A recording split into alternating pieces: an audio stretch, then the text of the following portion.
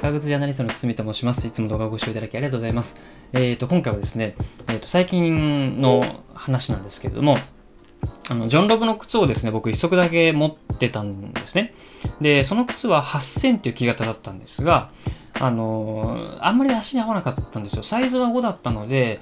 試着した時は結構きつめでいいかなと思ったんですけど、なんかね、やっぱあのサイド文句だと、まあこの靴なんですけど、サイド文句だったのと、結構前滑りして小指が当たって痛いなっていうので、なんか疲れる靴だなっていうので、あんまり履いてなかったんですね。で、靴はすごく好きだったんですよ。あの、これグレーのミュージアムカフですごい綺麗だなと思いますよね。こういうデザインなんですけど、すごいね、あの、革はすごい好きなんですよ。この感じ。グレーの感じ。で、実はこれ面白いのが、このストラップ、サイド文句のこのストラップから、こう、ここぐるっと回ってですね、ここ、ぐるっと回って、かかとを通って、サイドからの、えー、つま先で、ここでクロージングしてるっていうようなデザインなんですよね。なので、えっ、ー、と、非常にデザインも秀逸だなと思って、これすごい贅沢に革を使ってますよね。で、なかなかこういう靴って珍しいじゃないですか。やっぱジョンロブならではだなと思うわけなんですけれども、で、そういう靴に出会えたのも、個人的にはすごいいい出会いだったなと思って、まあ、こうね、ちょっと珍しい靴だし、あの、思い入れもある靴なので、あんまり履いてないけど手放したくないなっていうので結構ね、放置してたんですよね。で、あのまあ、ある時ですね、いろいろこう、あの、活動していく中で、靴職人さんと出会ってですね、最近、あの、ブログの方でご紹介をさせていただいた靴職人さんなんですけれども、まあ、その方にいろいろお話を伺っていく中でですね、やっぱりイラストしたいなと思うようになったんですね。で、イラストっていうのは、まあ、あの、釣り込み直すってことですね。木型を違うものを使って、この同じ、えー、靴をですね、もう一回釣り込み直して底付けをするっていう。だからまあ、あの、アッパーとかそのまま活かしつつ、こう靴の形変わりますよっていうのがイラストなんですけれども、まあ、それをお願いしてみたんですよ。そしたらこうな綺麗な感じに仕上げていただいて、まあ、これはこれですごくね、もう本当にあの満足してます。結構履いてない靴だったので、まあ、アッパーとかライニングも綺麗な状態だったので、それをそのまま活かしてですね、えー、リラストをしていただきましたという感じでございます。で、元の靴の映像あんまり残ってないので、こうね、あんまりこう比較として見せられないんですが、一応イラスト前の写真とかはあるので、まあ、それはブログの方でですね、下にちょっとリンク貼っておきますので、よければご覧いただくとしてですね、まあ、そんなことが実はできるんですよっていうのをご紹介したかったっていう動画になります。はい。で、木型も作って木型屋さんに発注をして、ただですね、あの、こういう風にしてくださいっていうものとはちょっと違ったものが上がってきちゃって、かかと周りがちょっと緩かったりとか、まあ、特にこの、この高速部全体ですね。あとこの甲もちょっとね、高く設計されてて、あの、思ったのと全然違ったんですよね。なので、その、すごく自分の好みのフィット感になったかっていうと、実はそうではないんですけれども、まあ、ただ前のものよりは全然履けるようにはなったわけですね。なんで、まあ、あの、全然履いていきますし、むしろこの、こんな底付けをきれいにしていただいてですね、もうこれ履かないわけないだろうというところなんですけれども、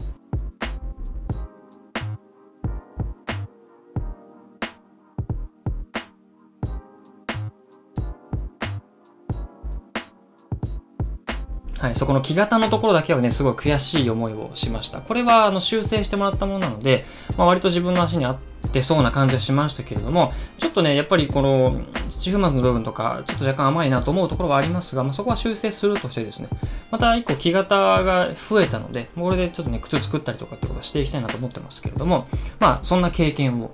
はい、してさせていただきました。なので、その、何が申し上げたいかっていうとですね、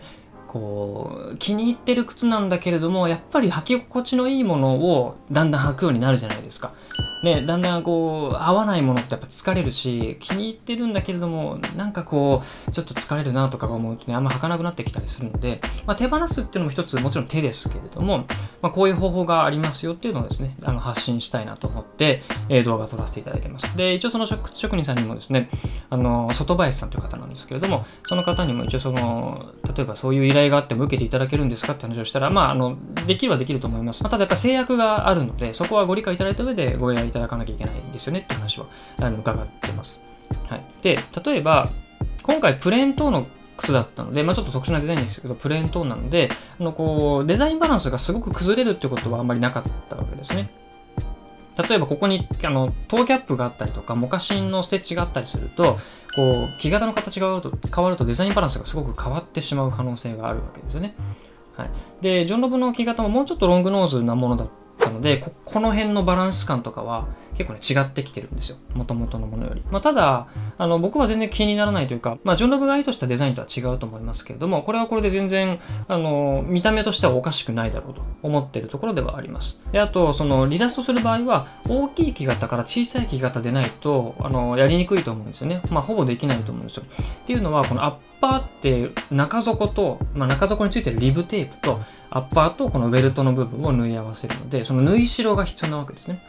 はい、なので小さくする場合は縫い代があるのでその中で縫えるんですけどあの小さいものから大きい木型にするってなるとそこの縫い代まで届かなかったりとかする場合が考えられるので、まあ、サイズ的にはですね近い木型であれば、まあ、プラマイ 5mm ぐらいの木型であればどうにかリラストできますよというような話でした。なので、まあ、めちゃめちゃ大きい靴をちっちゃくするってことも多分できなくはないんですけれども、まあ、デザインバランスがすごく変わってしまうので、そこはあんまり個人的にはお勧めはしないかなと思いますが、一応ね、そういうところは、えー、知っておいていただけるといいかなということですね。で、あと、こう、やっぱり元の靴ばらしてしまうと、もう絶対元には戻せないので、そこもご了承くださいと。まあ、出来上がりに関しては、その必ずしも気に入ったものになるとは限りませんよということはちゃんと理解して、えー、おいてくださいということですよね。まあ、とはいえですよ。とはいえ、もうめちゃめちゃ綺麗に仕上げていただいたので、その辺は僕は全く、あの、違和感はないんですが、ただ一つだけ悔しかったのが、その木型の形が違ってたっていうところですね。はい。もう本当にね、まあいい経験になりましたけど、木型って、まあ、1から起こしてこういうあのプラの木型にすると6、7万かかるわけですね。で、今回は hand sewn welted の10分なんで、これ full hand なんですね。この出し縫い部分も全部ね、手でやっていただいたので、えっ、ー、と、それで8万、9万ぐらいしたんですね。だから合計で16、7万したんですけれども、まあ、16、7万あったら新しい靴買えるから、なんならね、5万の靴3足くらい買えるから、まあ、そっちを選んでいただくっていうのも全然ありだと思いますけれども、やっぱなかなかこの靴は手放せない靴でもありましたので、まあ、ちょっとこういうことを今回してみました。で、えっ、ー、と、その作業中に写真をいっぱい撮っていただいたんですよね。そこもぜひお願いしますということで、あの、依頼をしまして、その写真は、まあ、今回の動画ではご紹介しませんけれども、ブログの方にこう、えー、だんだん剥がしていくと、そこ剥がしていくとこういう風になっていきますよね、みたいな話とか、だんだんこう、釣り込んでいく様子とか、底付けしていただく様子とかね、ブログの方で紹介してますので、まあ、気になった方はですね、ぜひそちらもご覧になってみてください。はい、最後にちょっとね、履いた様子だけ、えー、ご覧いただいて終わりにしたいなと思います。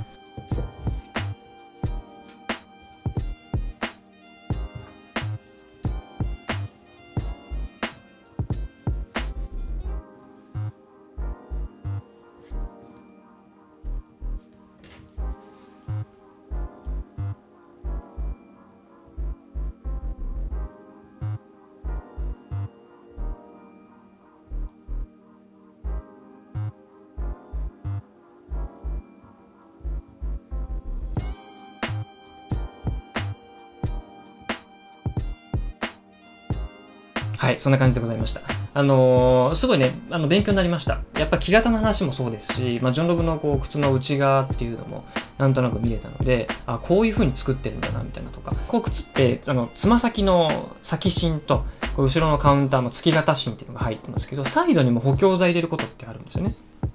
で、まあ、補強材なんて別に他の革でもいいじゃないですか。安い革でもいいじゃないですか。なんですけど、おそらく写真見た感じだと、ジョン・ロブはこのミュージアムカーフと同じ革をサイドのこう補強材に、まあ、サイドライニング入れてて、まあ、すごいね、贅沢だなと思って見てたんですけど、まあ、そういうところとかも分かりましたし、こう内側のこのシャンク、まあ、大体金属のものとか最近はプラスチックのものとかが多いんですけど、まあ、そこもですね、あの木製のものを使ってたりとか、まあ、そういうちょっとね、あ、なんかこだわってるところあるんだな、みたいな。やっぱね、キングオブシューズと言われるだけのゆえんはあるんだろうな、みたいなことをこう思いながら見てたんですが、まあ、とはいえね、足に合わなかったので、履いてなかったので、今回こういうことを、えー、やってみましたという動画でございます。はい、興味ある方はぜひ、あの、ブログの方とか、あの、外林さんのですね、あの、インスタとかツイッターとか貼っておきますので、よかったらご覧になってみてください。はい、最後までお付き合いいただきありがとうございました。よかったら他の動画もご覧になってみてください。ありがとうございました。